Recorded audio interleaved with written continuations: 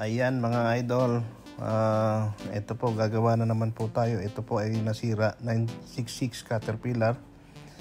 Ang naging ano niya, yung plate. Ayan, nasira. At yung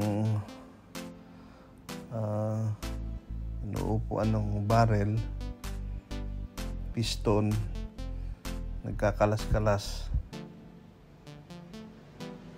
At uh, ito, na, ito na po yung piyesang pinabili natin. Uh, at ay i-assemble na natin itong uh, hydraulic pump steering. Ito po ay uh, hydraulic pump steering ng 966. Pagka may mga ganito po kayong problema ay uh, ano nyo yung pag steering ay tumutunog, umuugong. Ito isa sa isa po ito sa mga nagiging dahilan ng uh, ingay. Dahil nasira na yung piston niya.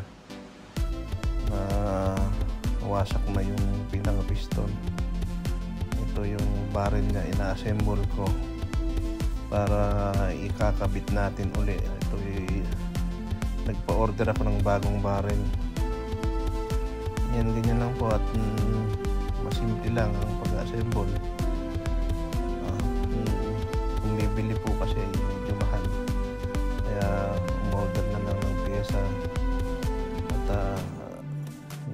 po namin ina-assemble ko na lang para mas mabilis pa pati.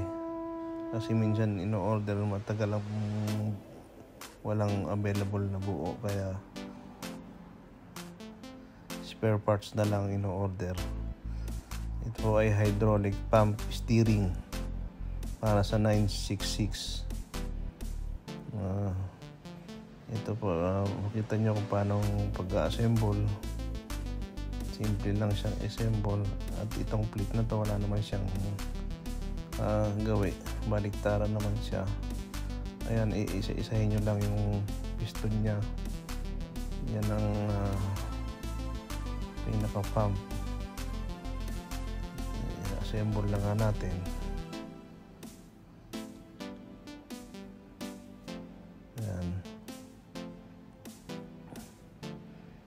Sure nyo lang po na maayos ang pagkakabit ng mga spare parts net lang hindi na kayo magpulit dahil mahirap magpulit ito dahil tatanggalin ang cabin. Kaya kailangan maayos po. Ayan nga po.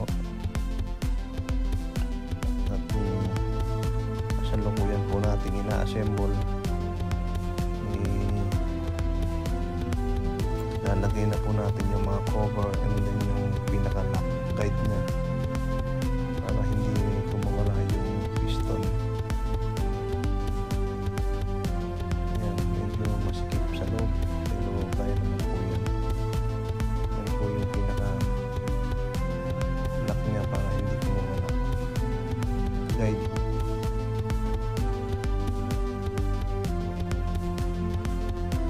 kabilaan po yan.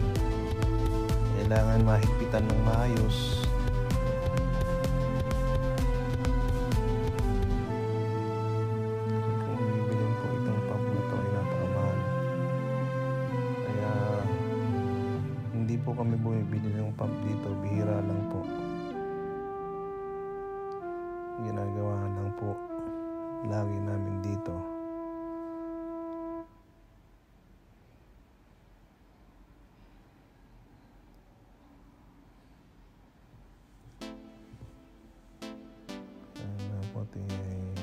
pinigpitan po natin maayos kasi para walang sablay. Ayan at uh, ikakabit na natin ang uh, plate. Patayan muna natin sa gatot ng hindi delikado. Ayan medyo may kabigatan mga idol. Mabigat po itong pump na ito. Ay solid. Tayo ay pinagpawisan ng bandido lagyan din po natin ng oil para pag umandar eh ano meron na agad siya. And uh, napaka smooth ng ikot mga idol. Pinagpawisan si Manoy. Medyo mainit ang uh, idol dahil sa bigat niyan. Ayan ilalagay ko na yung cover sa tagiliran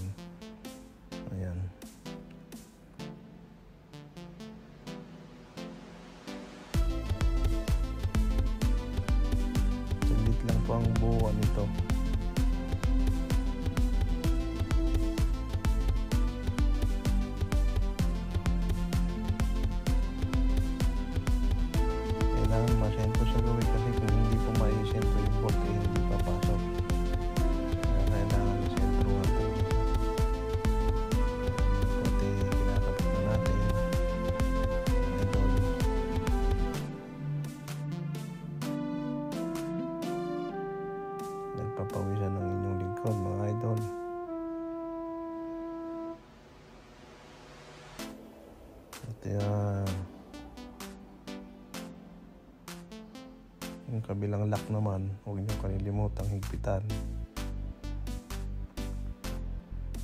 Para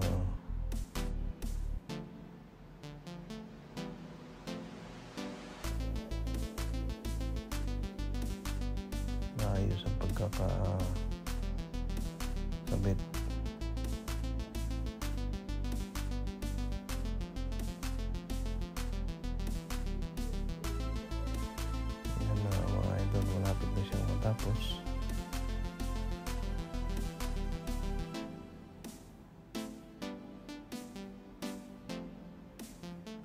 po kakabit naman natin na yung pinaka head niya plate. Lagyan natin ng grasa para hindi mahulog pagbuhat natin. Paglagay natin sa ibabaw kailangan may grasa siya. Kailangan sentro lahat. Ano pa sen- sentro siya. Hindi natin langis para hindi pagka magpapa-start pa lang. Yan huwag makakalimot yan sa washer first. and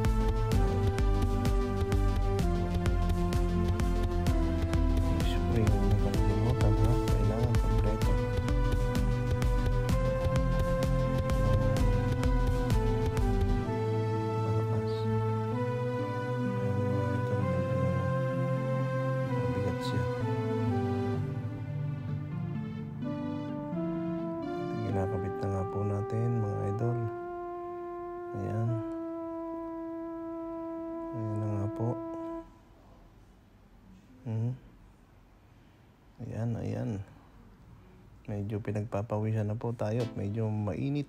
Ayan. Ah, dahil si Maray ng trabaho ngayon. Medyo napalaban tayo sa trabaho. Ayan. Ano nga po at ating testingin or higpitan muna. Eh, ihigpitan muna natin ang maayos para tansya lang po yung sa alam yung mahigpit na talaga siya. Ayun nga po tinetesting na natin yung niikot niya kung smooth ah, walang sabit. Kailangan itatry din niyo po para malaman niyo kung smooth lang pa ang ikot at ikakabit na pakakabit na po natin mga ka-grasa, mga idol.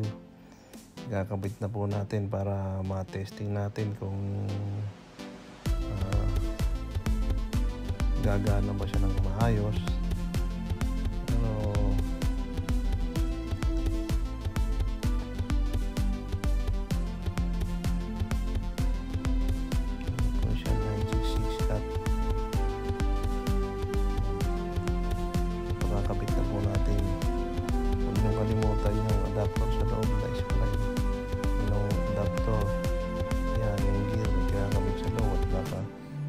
ipasok nyo, hindi gagana yan.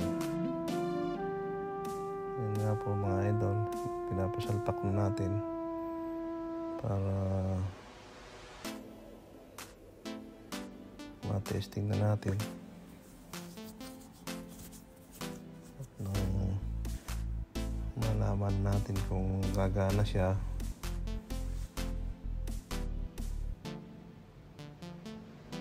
Ah, pati ito na nga po yung cabin niya. Ipapalagay na natin yung cabin.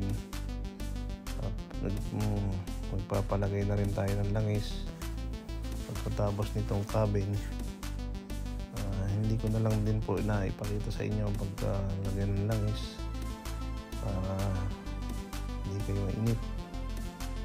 Ayan po, ah, magpatong lang muna ng cabin at yung mga linya ng kuryente, hydraulic ah, pipeline, yung pinakakabit na po natin.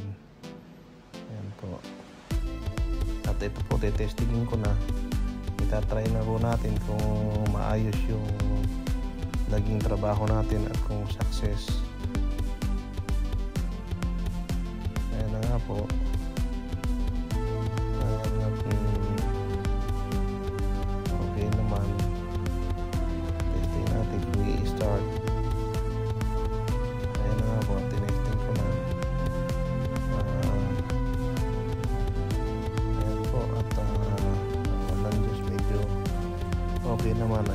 Gumagana po na po siya at wala nang kaugong-ugong. Dati yung ugong po yan pagka pinaandar nyo, maugong siya. Ngayon wala na po. Ayan, gumagana na po siya. At uh, yun na lang po. Um, thank you for watching po. Maraming salamat.